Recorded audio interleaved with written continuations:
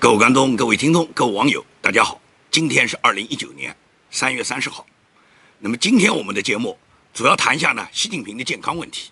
那么在讲习近平这个健康问题之前呢，我呢有几个网友提问呢，我来给大家做一个回答。第一个呢，就是有网友关注到我的个人网站上面开放了一个论坛节目，这个论坛节目呢，就是怎么去操作，大家怎么去参与。那么这个论坛节目呢，实际上一开始设定的时候就有，只是在这个系统设置之后呢，这个论坛啊，它始终跟别的板块呢有冲突。那么这都是技术上的问题，所以解决了很长时间呢，现在已经搞定。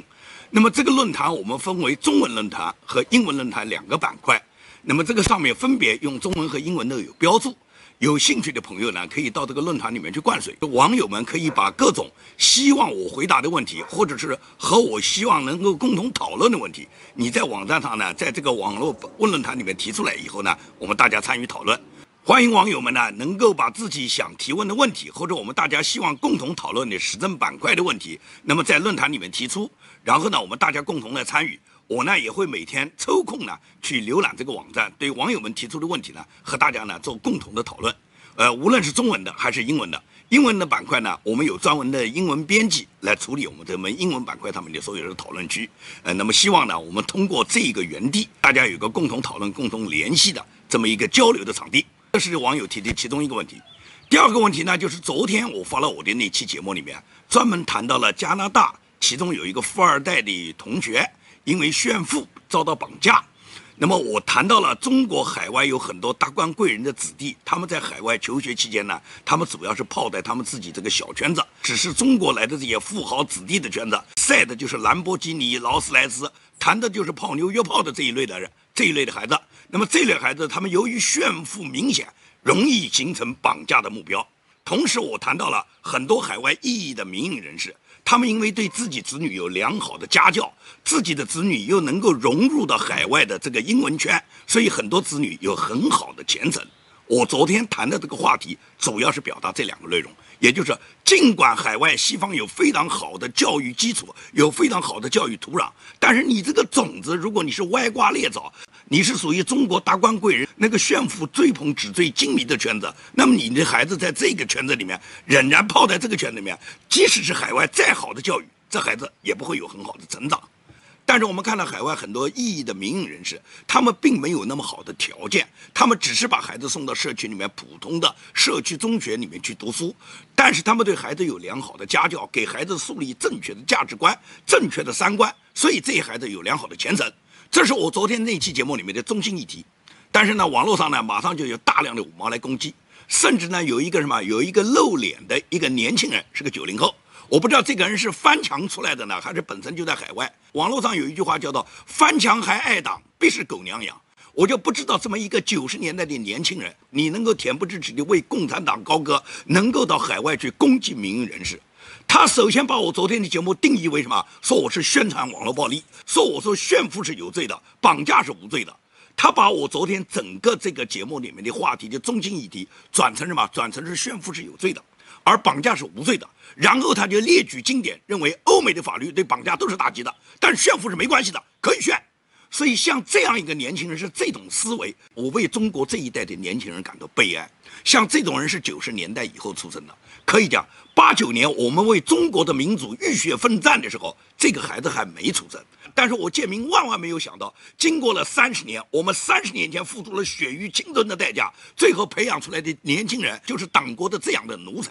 我们为这个国家付出是为了什么？是为了下一代。我们的下一代都是给党国驯化成这样的奴才、这样的猎狗。你觉得这个国家有希望吗？所以说，对这样的五毛的。在网络上散布这种攻击海外民营人士的这些言论，这些人还沾沾自喜，甚至要通过这个去蹭热点，去提高点击率，在很多小粉红里面去传播他们是怎么爱党爱国。现在网络上的五毛攻击我们很多啊，包括我们全民公正。最近李一平跟我通话说，很多这个网络上面有大量的共产党派出来五毛，他们把国内的任何新闻事件和任何国内的维权事件里面被中共抓捕的受害人的事件。都说成什么？是共振导致的，是共振害他们的。他们维权就是你们共振搞的，所以这些维权人士被共产党抓捕以后，都是你们发起共振，让人家身陷囹圄的。所以大量的五毛共产党雇佣的海外的这些大外宣人们，就不断的把国内出现的任何维权异议人士被抓捕的事件，把它跟共振联系上，说是共振导致的，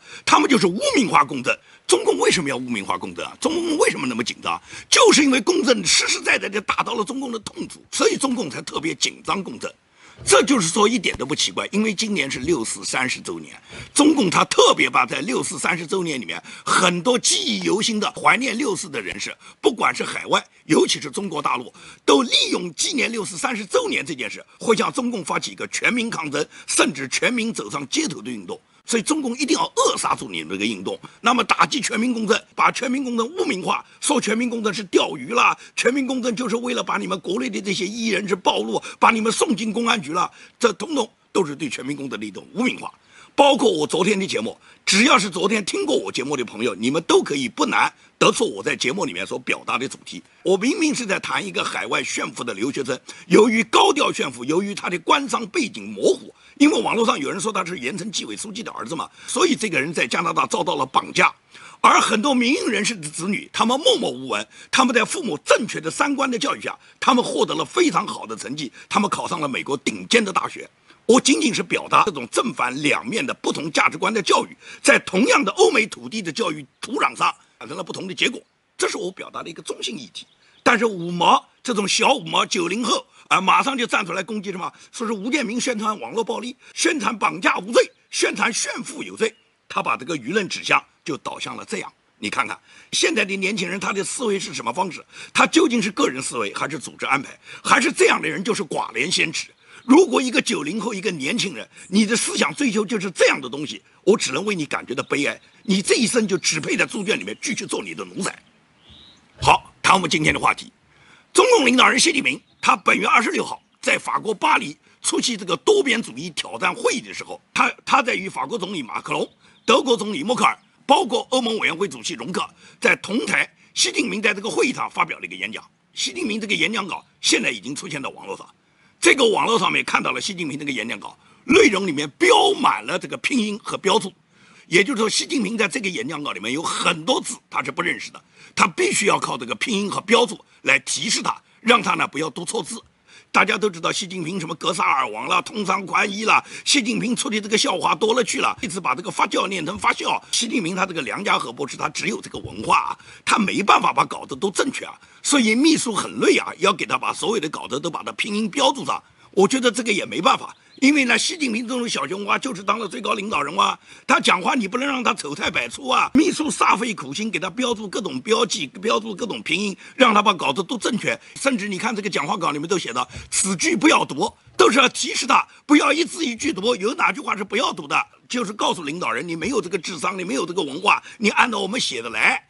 问题是这个稿子为什么会流出？啊，很正常。秘书给领导人做个这种稿子，搞领导人没这个文化，没办法，只能叫秘书帮他做这样的准备。那么秘书做这样的工作也很正常。中共的领导人也不是习近平一个人那么蠢，也不是习近平一个人经常把各种文字读错。但是习近平的稿子流传出来，这就是个大问题。有人说这个稿子会不会是假的？我告诉你啊，俄国国家电视台叫 RT 电视台，它有一个新闻画面。你从这个俄国电视台这个新闻画面上就可以看到，习近平是不断的看稿，而且在这个稿子里面标注的这些生字，碰到这些生字字词，习近平难以表达者，习近平会临场发挥，有时候把它带过的。这也就说明这份稿子的真实性。也就是说，现在网络上流传的。这个标注着各种拼音的习近平本月在法国出席的关于多边主义欧盟会议上面这个讲稿是肯定是真实的。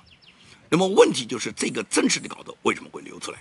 流出这个稿子是什么人放出来的？你认为这个稿子是什么普通人能掌握吗？这绝对是中共的最高机密。那么中共最高机密为什么会在网络上流传？那么说明就是什么？中共有内斗，也就是习近平有一大批政治对手，他们就利用这个问题来羞辱习近平。因为他会向外界传达一个声音，就是习近平没有文化，习近平的这个水平很低啊，习近平连念稿子都能念错啊，习近平稿子上那么多生字他念不出来，那么多字都看不懂，他号称他是清华博士，小学文化这些文字也应该懂啊，即使是学的小学文化，一些基本的字也应该念得出来啊，就算念不出来，秘书给你标注，你总应该把它读正确吧？那怎么还会把发酵读成发笑呢？所以习近平的政治对手，他的反对派们会不断的利用这个事做文章，他么。之所以把习近平这个讲稿让互联网上去流传，也就是通过这件事去羞辱习近平，向外界传达一个信息，就是习近平他没有文化，他的能力又比较差，而且呢，他在读稿子，即使是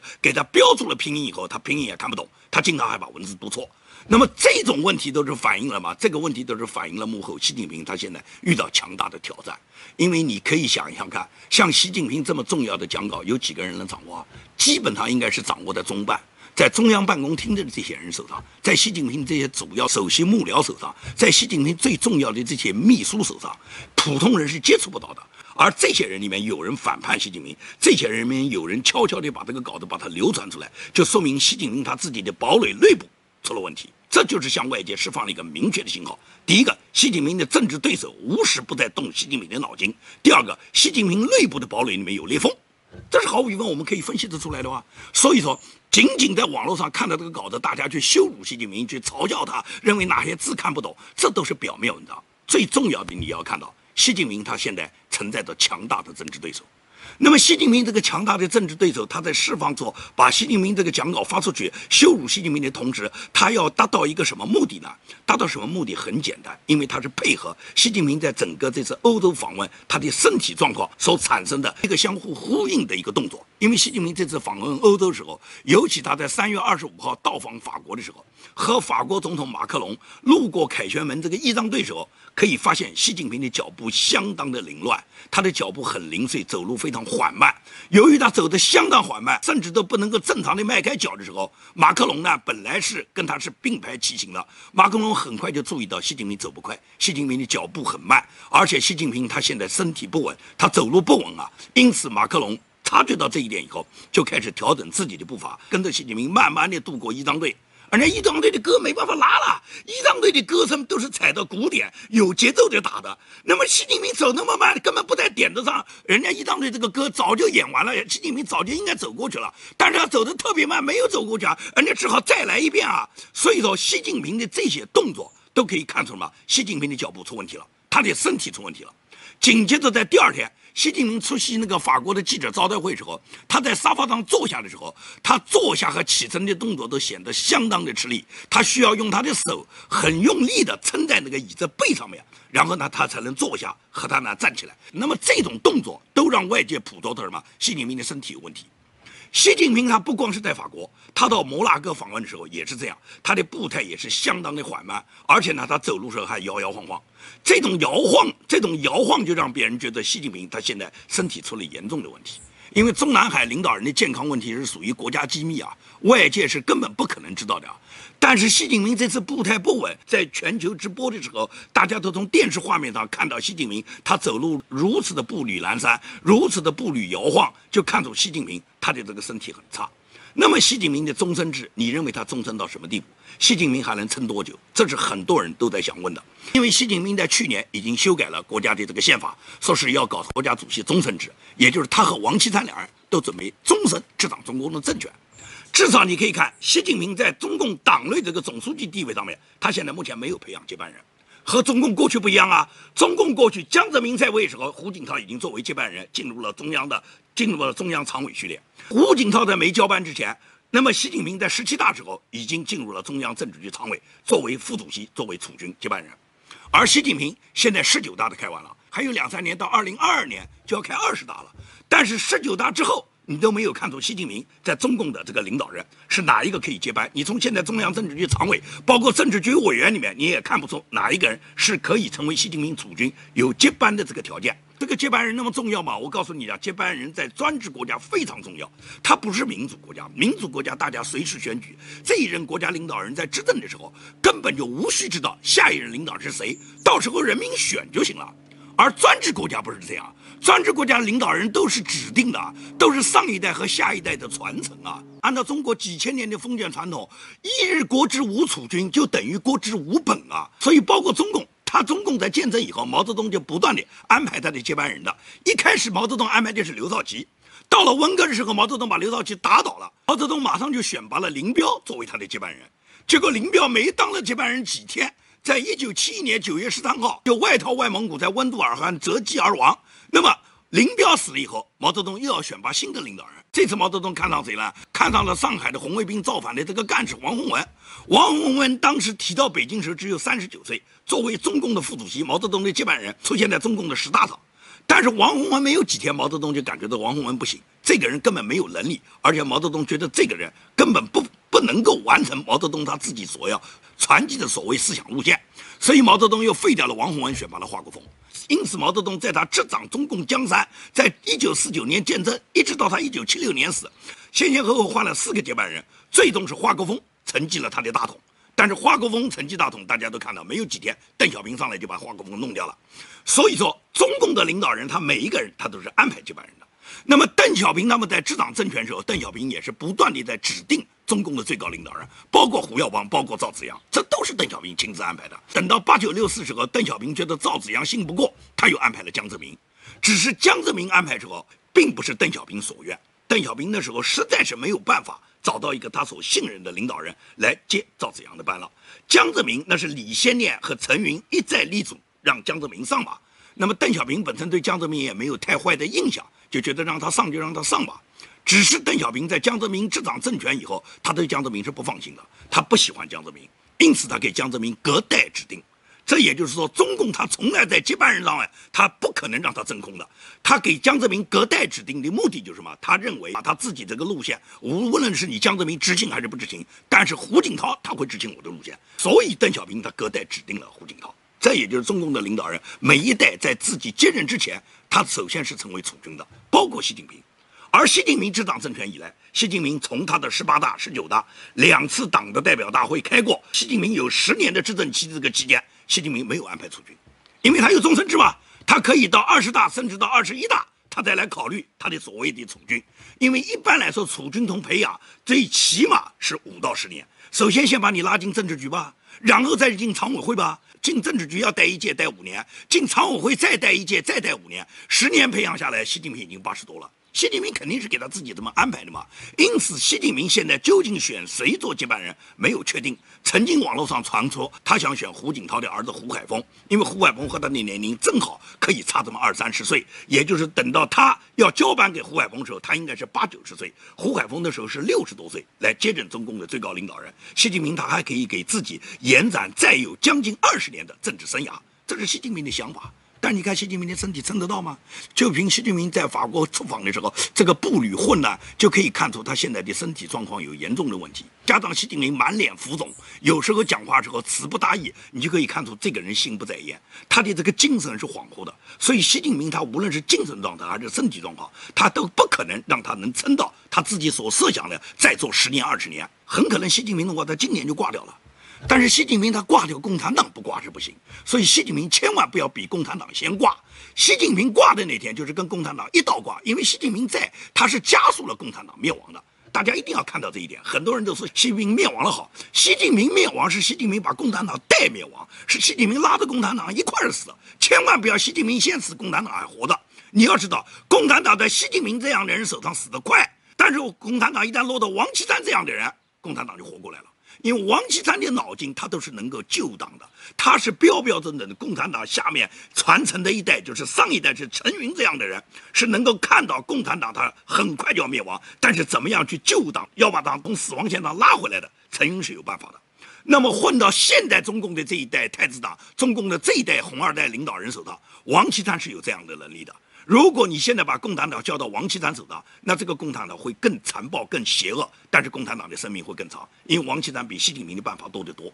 而习近平他除了喊喊口号，除了盲目的满足他自己作为一言九鼎，他能够君临天下，他能够到海外大量的撒币，能在国内他任意的去处罚下面的下属，他可以就任意主宰他人的命运，可以获得无上的权利。习近平只要获得这个就行了，他根本不在乎这个共产党死还是活。我习近平死那天，你共产党跟着我一块死报废了算了啊！我只要我只要活的时候拥有无上权力就行了，哪管我死后洪水滔天啊！习近平就这个想法哇，所以习近平在在他担任中共最高领导人时候，他是不会给他自己所有其他幕僚任何人的权利的，他要把权力完全的所谓一言九鼎，所谓定于一尊。你看，国务院的总理李克强是跟习近平一起在十八大。接任中共最高领导人的，但是李克强连任的总理的任期都已经当了这么两年了。那么李克强他现在的表现是什么？可以讲是中共所有总理里面最最窝囊的一届。而且李克强在中共的高层里面，对他个人的各种言论也经常进行封杀的。李克强在前天，也就是三月二十八号，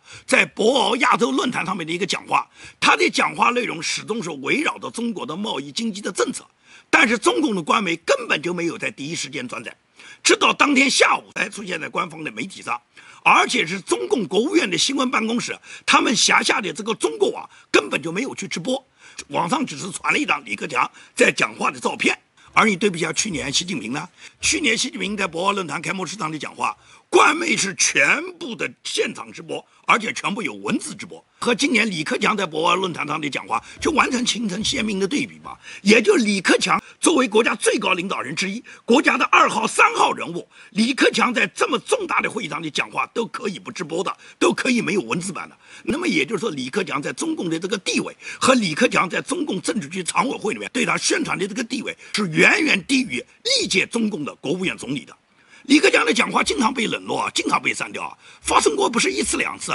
李克强在二零一八年四月份，在国务院有一次廉政会议上面，李克强强调要让人民运用互联网、大数据来全面监督政府的行为。李克强这句话本来是登载在中国政府网上，马上就被删除。而且李克强有一次出访东南亚时候，他有一个讲话是谈到中美贸易战，他当时讲话的中心内容就是说，任何贸易战对交战的双方大家都没有好处，大家打贸易战最后都是两败其伤，应当是什么？贸易战里面解决我们贸易的问题，然后大家互相促进贸易。其实李克强讲的话真的没有什么问题。贸易战本来就是这样，如果真正任何称为叫战的，一定有双方，双方一旦打的话，一定都有损失。如果是把我们的分歧能够把它管控住，大家不打而是和，而是共同解决问题，那肯定对双方都有益。我想这是最简单、最浅显的道理。李克强在表达这个道理中肯定没什么错，但是。他的这番讲话，港澳台的这个媒体全部播出了，外媒也全部播出了，而中共的所有媒体把它全部删掉了。